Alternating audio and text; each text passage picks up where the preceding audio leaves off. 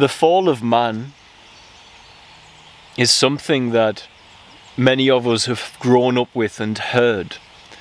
And this idea, this notion, the fall of man, is represented in the story of Adam and Eve. And in that story of Adam and Eve, not to go over it, because I'm going to touch on something new here, I hope for many. Of course, it is that they bite from a tree symbolically. And in biting from this tree of the knowledge of good and evil, God informs them, You will surely die. And in biting from this tree, they begin to see the world with their own judgments and opinions. Adam and Eve, of course, clearly is not literal. We know this. Snakes don't talk. God would not be so cruel and heinous as to say, don't, don't, I'll put this big red button, don't push it. It's symbolic. And of course, Eve is from Adam. Eve is the rib of Adam. Now, if we look at what we now know from observation of reality, we have atom and electron. And when you separate an electron from an atom, you start the multiplication of energy or the beginning of life.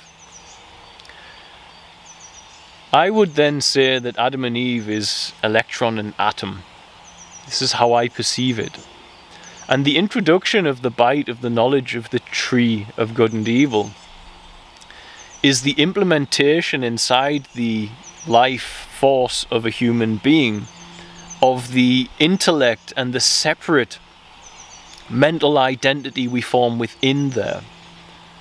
We grow up as children, and if we were to grow our children side by side with a tree, we would not be able to distinguish the force which is growing the two that force which is growing the child in the tree is one and the same. It has an innate intelligence that's beyond our human understanding. As we grow, however, we start to develop a sense of separation. We wrongly uh, believe that which we observe in the world has an observer. And so, as we cross that bridge of what we observe has an observer, we create separation. When we create separation from the human being to nature, which there is none, only created in the mind of man does that exist. When we create that separation, we begin to analyze the environment around us and place our judgments and opinions on it. The problem there is that what some human beings will deem to be evil, others will not. What some deem to be good, others will not. And so we are left with this peculiar situation where the guidance of our own voice is extremely fallible. And we wind up in deep conflict as a human species trying to balance that out. But what if beyond and behind that, behind this voice of self that we have, what if we were always going to be completely aware of that which was wrong and that which was right? But we would know it because our collective being would be guided by the voice of God. Our collective being would be guided by the internal intuitive voice that is the origin of all, the, the, the will of unconditioned love. Jesus, seems we are on the topic of Adam and Eve, he was very clear that the God he serves, which is clearly a God without conditions on its love, was not of this world. And so, when we look at our conscience, when we look at our opinions, when we look at our judgments, we can begin to relate and say the reason the world is in a pickle is that there is the voice of Satan within our lives. And again, biblically, it's told to us, but we overlook it, we overstep it. The carnal mind is enmity to the laws of God, meaning the thinking mind has no place in God's law and rule. And if we see this separation, we can start to do something about that separation and find out if it's possible here today to regain and access the voice of God in our lives. To be able to see with the lack of tension of judgment, to be able to see the world through the loving eyes of God, and not only from that space without our thoughts and opinions about what our loving eyes are witnessing, but in that space of consciousness, for somehow the entire human, not governed by thought as a tiny fragment of us, but the entire human's energy becomes so subtly sensitive to the nature that it is that the voice of God speaks there and, and guides that human to the righteous path based upon hearing the voice of God. It would seem to me we can access that. It would seem to me that the idea of the fall of man is not something that can't be reversed.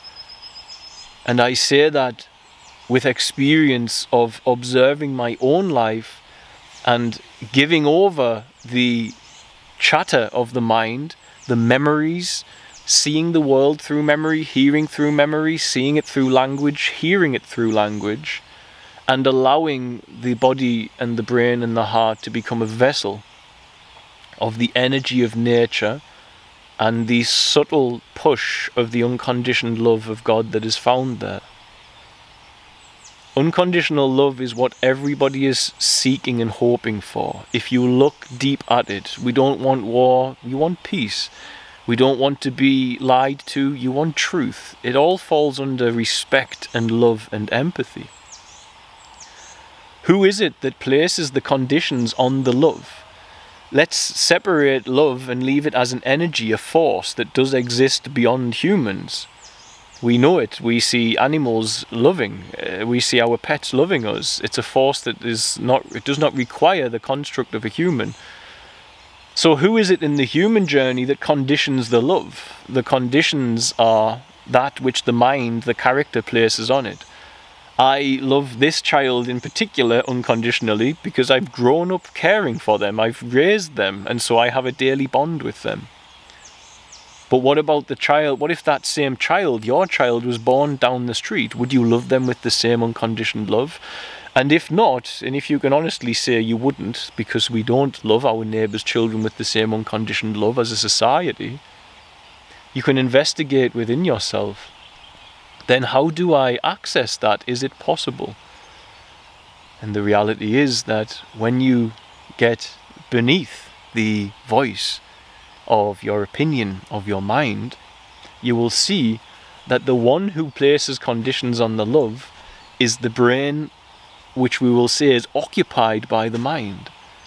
The brain occupied by mind says, I love based on the memory that I have of relating to this person. I love based on the anticipation I have that I'll get some benefit from this person.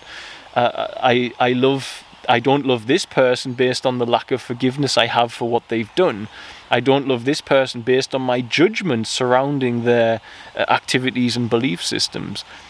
It is the analyzer inside you that places conditions on God's love when you observe reality around you, observe, not analyze, to observe, you understand reality innately. The understanding rises through the intelligence inside you.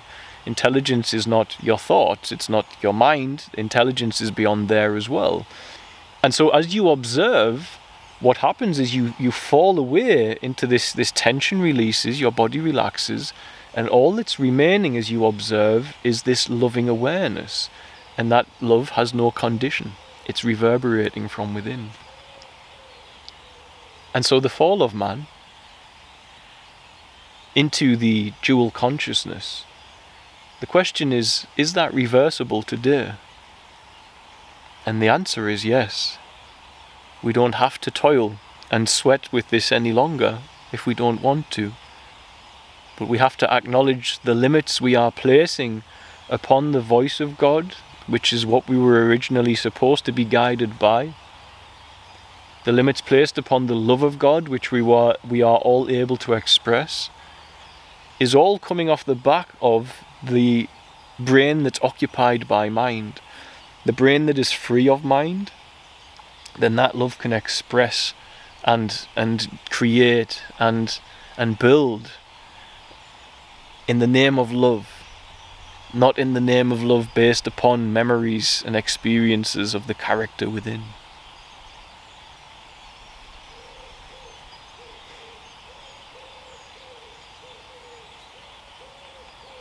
Atom and electron, Adam and Eve, for me this approach brings a great deal more clarity and practicality to my ability to bring God's love into this world today. I hope it does you. Have a beautiful and blessed day. God bless, guys. Bye.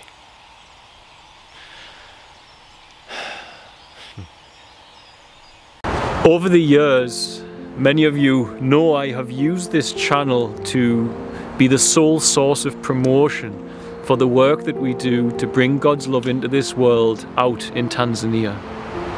Up to now, using the publicity from this channel and the love and kindness of those human beings who are among those watching, we have managed to build a special needs community, a village dedicated to the care and support of special needs children in crisis. Some of these children come from the most horrendous backgrounds, and thanks to that village and that community that we call Feathershill, a great deal of love and healing has been provided in their lives. Our family in Tanzania is now made up of nearly 200 children who are in need of a loving family home. And I'm just making this to say thank you to everybody who supports what we do. Thank you to everybody who shares what they can, be it time, resources, uh, fundraising, and creativity found there. Thank you. You have made the foundations of our family possible. And it is through you guys and your love and support that we are able to bring this spark of God's unconditioned love into the world. If you want more information on our projects, please visit www.sharetanzania.com. God bless guys. Enjoy the rest of the video.